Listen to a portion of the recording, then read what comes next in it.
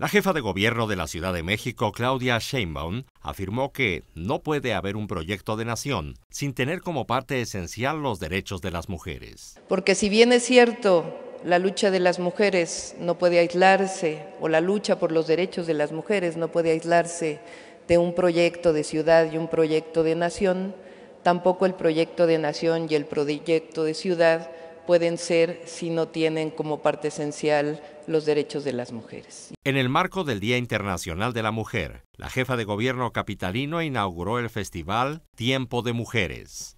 El día de hoy, 8 de marzo, eh, da inicio un festival en la ciudad de arte, cultura, em, denuncia, celebración, que se llama Tiempo de Mujeres.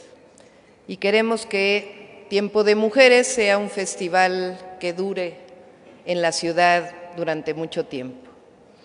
De la misma manera que el 8 de marzo representa una celebración a la lucha de muchas mujeres, queremos que este festival Tiempo de Mujeres se vuelva una referencia nacional y mundial de la lucha de las mujeres en la Ciudad de México y en el mundo.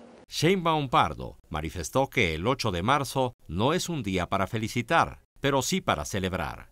Eh, una reflexión sobre la lucha de las mujeres, lo que significa el feminismo, lo que significa la violencia. Se ha vuelto este tema de felicitar a las mujeres por ser el Día de la Mujer.